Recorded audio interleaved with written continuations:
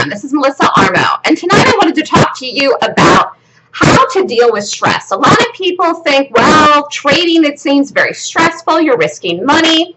You know what? Trading is only as stressful as you make it. If you risk too much money, more than you can afford to lose, guess what? That's stressful.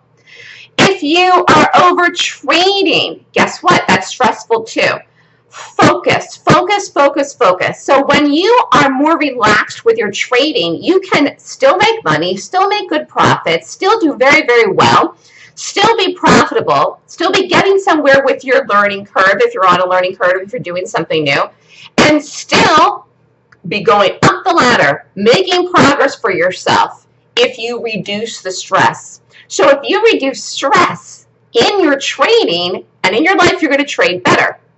So what a lot of people do is they say, well, trading's very risky. It's just stressful taking risk. Well, there has to be some amount of money that you can risk in a trade that you would not find stressful.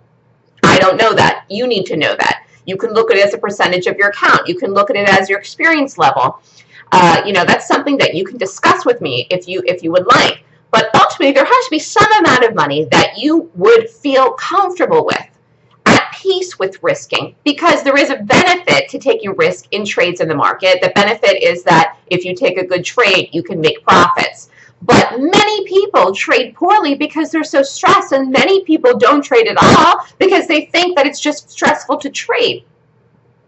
It's not stressful to trade when you know what you are doing and have assessed the odds. What do I mean?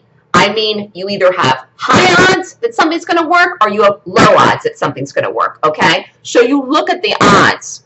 If you have something that's high odds it's going to work, it doesn't mean 100% it's going to work, but it means most of the time it's going to work. Low odds means what? Most of the time it's probably not going to work. So you don't want to take a low odds trade. You want to take a high odds trade. That's why I developed a system that has 26 points. And people say, well, that's a lot of things, Melissa. Yeah, it is. But if it rates 20 points or more per my 26 point golden gap rating system, guess what? That's high odds. Pretty high odds if something is 20 points. Very high odds. Whereas if something has under 20 points, low odds. So we don't do those things, okay? So that's how I look at it. Also, don't risk more in a trade than you can afford to lose. And that's why I also put in stops. You can put in hard stops, limit order stops. They're not imaginary stops, they're real stops, okay? And also it'll help you stay with the trade until it goes on to work. Because if you take a trade and it goes negative before it goes on to be positive, you don't want to kill it right away. So you want to give it time. Sometimes stocks need time to wiggle and jiggle. Less stress will help you develop into a better trader and ultimately you will make more money. You will make more money if you are less stressed. So it's not about not taking risk. You can't get ahead in life and you can't get ahead of the market and you can't get ahead at all if you're not willing to take risk.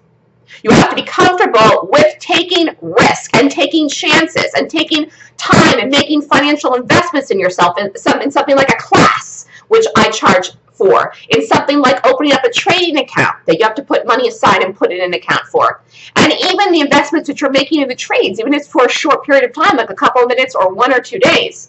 But the point is that keep the stress level down, therefore you will trade better. How do you do it? Only do one trade a day or two trades a day. Define your risk. Use stops. Focus on one strategy. Focus on one directional bias. Focus on one specific time of the day that you're trading. Don't deviate.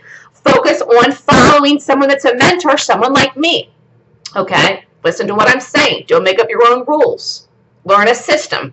Follow that system. That's what I do. That's what I've been doing for 10 years. So this is good advice. You, you can trade and you can take risk in trading and in life and be and have low stress.